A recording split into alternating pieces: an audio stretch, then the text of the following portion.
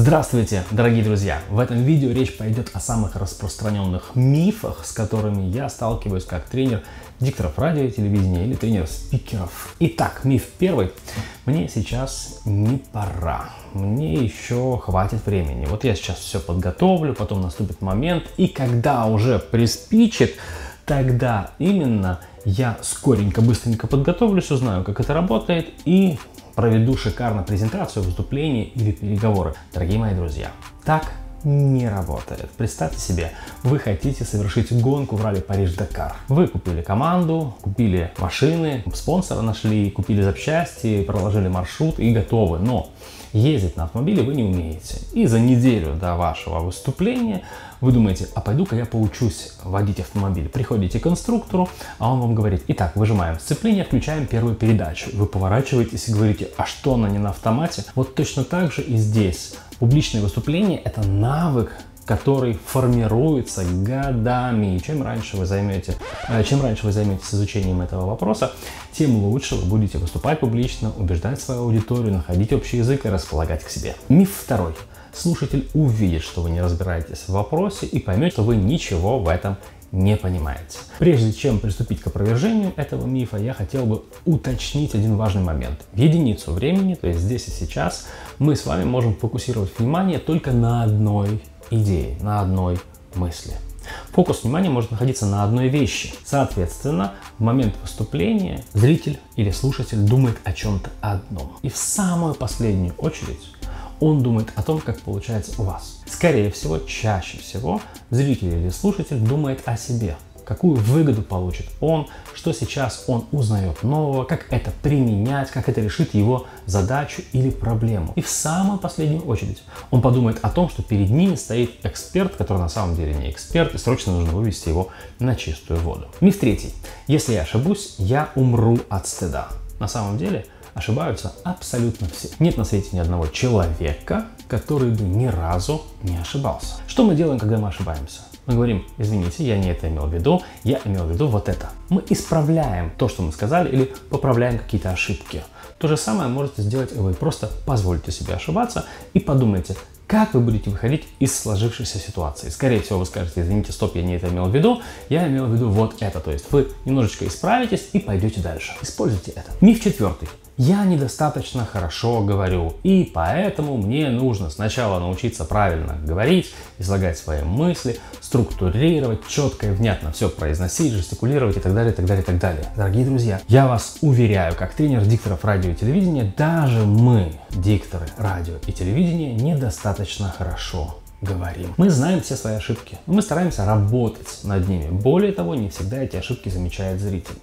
Поэтому, учитывая эти факторы, вы, во-первых, можете уже начать с того, что вы имеете, это первое. Второе, начинать анализировать вашу речь и улучшать ее. И третье, понимать, что никогда, еще раз, никогда вы не станете говорить идеально, чтобы себя устраивать. Всегда будете чем-то недовольны. Поэтому просто начните говорить. Помните, что в этот момент фокус внимания вашего зрителя направлен на те проблемы, которые он решит при помощи ваших знаний. Миф пятый мне придется постоянно много всего контролировать. Свое звучание, то есть голос, дикцию, артикуляцию, то, как я формулирую мысль или предложение, то, как я жестикулирую, мою мимику, осанку, поведение, жесты и прочее, прочее, прочее. Кроме этого, еще нужно обратить внимание на структуру, на последовательность, на интонацию и на то, как я взаимодействую со своей публикой. Дорогие друзья, и да, и нет. Конечно же, все это необходимо контролировать, уметь контролировать. Но что значит уметь делать это? Это значит довести до автоматизма каждый из этих пунктов. Точно так же, как везде на автомобиле. Сначала вы просто учитесь ехать прямо, затем вы учитесь выполнять простые элементы, а через некоторое время вы едете по городу в час пик, в пробке, разговариваете по телефону и, возможно, пьете кофе. Вы довели до автоматизма многие функции, которые раньше не могли делать, и на них очень много уходило внимания. Поэтому доводите до автоматизма детали, и этот миф тоже будет развенчан. Миф шестой. Я узнаю все фишки, технологии, как это работает, рассмотрю, изучу и потом начну эффектно выступать перед аудиторией. Дорогие друзья, это не совсем так.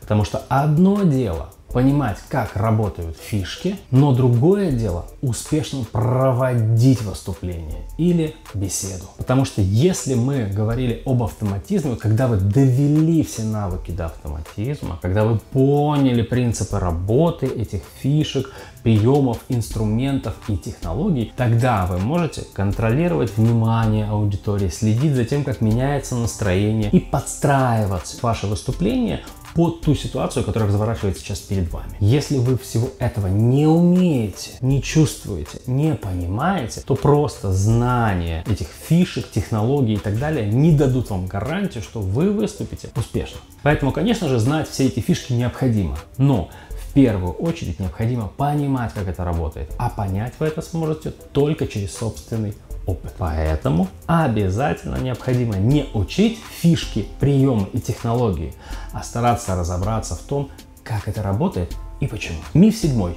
Я никогда этого не делал, я никогда этого не смогу. И у меня есть для вас хорошая новость. Как показывает статистика, чаще всего лучше получается у тех экспертов, которые никогда раньше не выступали. Им нечему переучиваться. Они становятся на новые совершенно рельсы, и постепенно набирают обороты, потому что не нужно переучиваться. Поэтому новички, я вас поздравляю, у вас будет получаться гораздо лучше, чем у тех, кто уже проводил выступление и делал это неправильно. И отсюда вытекает заключительный миф. Я давно этим занимаюсь, у меня все хорошо получается, мне не нужны никакие знания, потому что у меня и так все с этим хорошо. Дорогие друзья, моя личная практика показывает, что чем взрослее эксперт или спикер, тем неправильнее он проводит выступление или общается со своей аудиторией.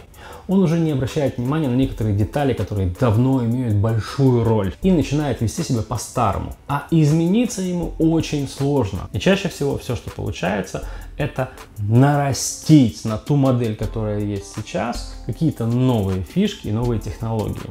Но, к сожалению, это очень неэффективная конструкция. Лучше всего, когда вы полностью забываете все, что вы знали до этого момента, и как будто бы с нуля начинаете раскрывать для себя заново способы общения с вашей аудиторией.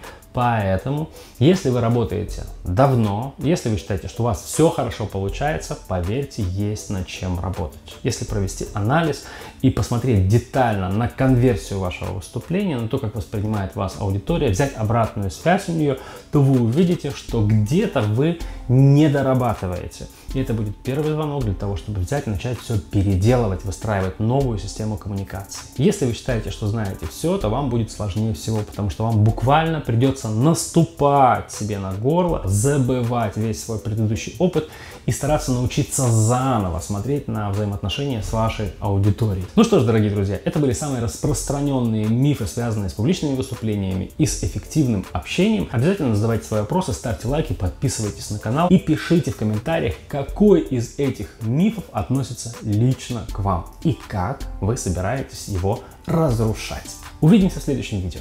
Пока!